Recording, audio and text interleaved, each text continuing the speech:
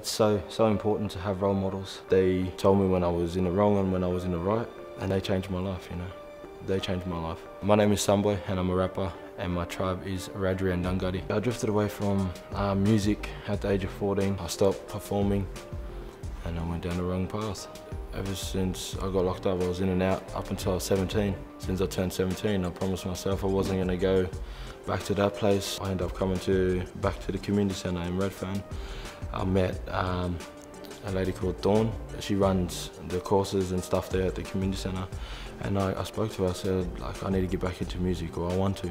That was probably the best step I did. You know, like she said to me, like, we're gonna push. Even times I wanted to quit, she was like, nah, you're doing this for you know, for your family.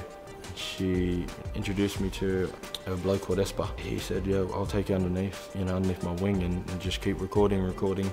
That's sort of broke the cycle. That, that's what made me, you know, stick to, to I'm doing my music. They stuck beside me. They told me when I was in the wrong and when I was in the right, and they changed my life, you know. They changed my life. It's so, so important to have role models. If you don't have a role model, go to your closest youth uh, centres. You can speak to your family. Like if you're not close with your family, speak to your, your friend's family. Even your friends can be a role model.